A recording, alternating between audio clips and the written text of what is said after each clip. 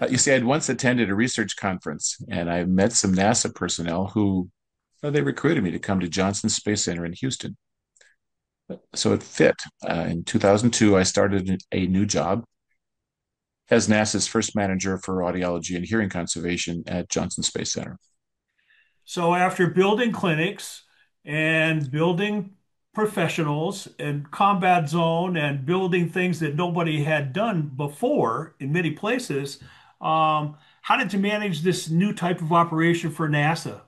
And as the first there, there wasn't any example of how to do it, so you kind of had to rely on experience, I guess. Well, it's like in my other Army assignments, I had the freedom to establish new programs as long as they seemed relevant to management. Uh, some of those program needs were obvious. I had to establish a JSC's first clinic. It provided on-site services to the astronaut corps as well as to uh, the ground personnel and the on-orbit hearing assessments that were being done on the International Space Station. And for our U.S. crew members and the international partners, uh, cosmonauts and astronauts from other nations.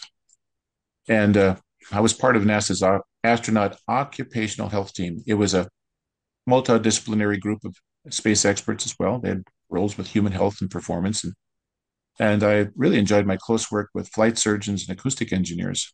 And so our job was to make sure that there was a safe and healthy and habitable space vehicle environment where the crews could live and communicate and work. Well, I bet being the a NASA audiologist, you had some very, very interesting patients. Um, yes, um, the workload also included uh, seeing former astronauts.